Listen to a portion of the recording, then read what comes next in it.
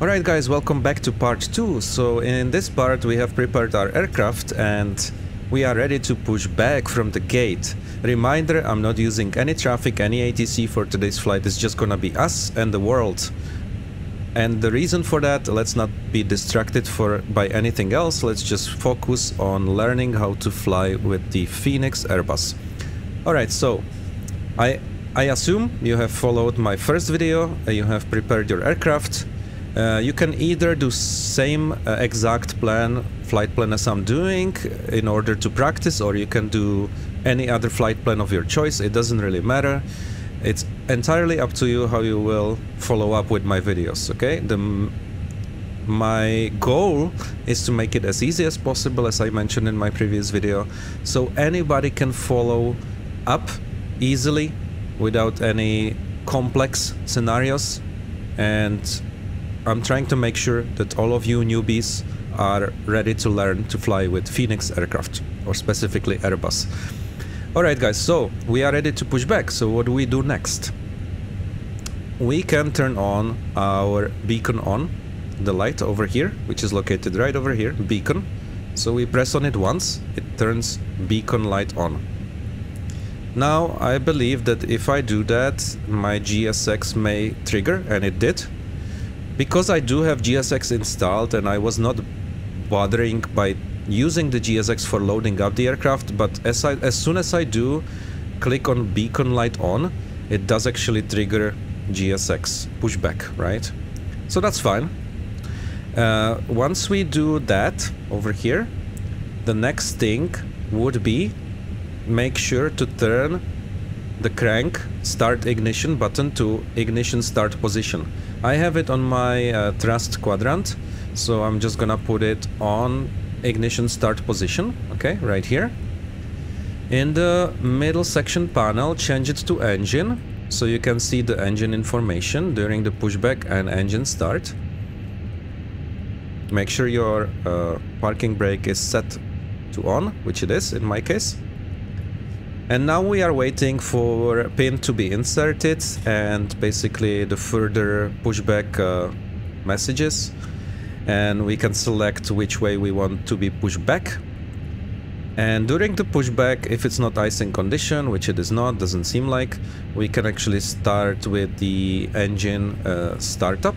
So I'm gonna shortly follow how to do it. Super easy process. Just follow my video, you'll be able to do exactly same. So our pushback track is on the place.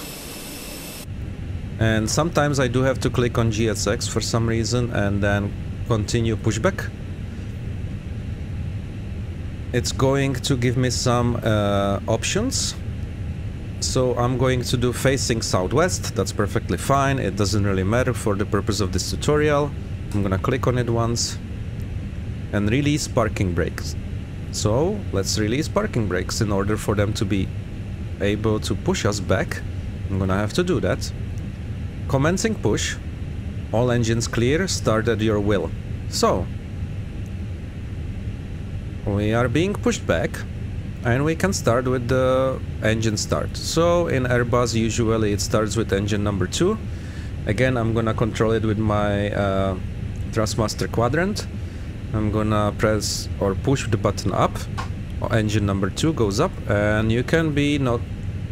You can be monitoring that over here. As in a moment you will see this going up, increasing basically, and you will also hear the rumble of the engine.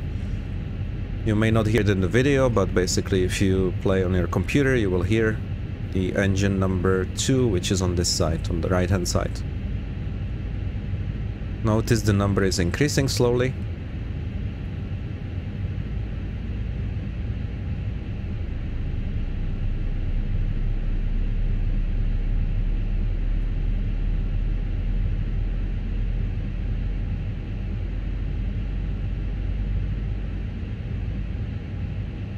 Okay, in position, please set parking brakes. So let's do that. Now the GSX in this case is waiting for uh, confirmation of good engine start, so I'll wait a little bit until I have both engines started. Okay, basically what we are doing now, we are waiting until it says avail. So it's available now. It says avail, so we can continue with engine number one into on position. Okay? And now we are gonna wait for the other engine to be started. As I can see, it's increasing. I can already confirm. Confirm good engine start so they can disconnect the pushback track. Can check some views.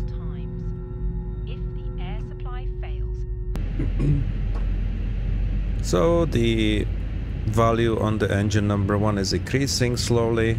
It's increasing over here as you can see. Again, make sure your parking brake is set on. Alright, so our GSX is done. The pushback tach left. And the ground crew is leaving the area as well. So we can continue with our setup. Now we are basically engine started. What we can do next is this uh, ignition button. Just turn it back into normal mode right here. Then we can go up here and turn off the APU by pressing in opposite position than in the beginning, pressing APU bleed first and pressing master switch once. You don't have to press this one, it will disappear by itself. And we can turn on taxi light into middle position. So this is the no taxi light switch, middle position. We can notify the cabin.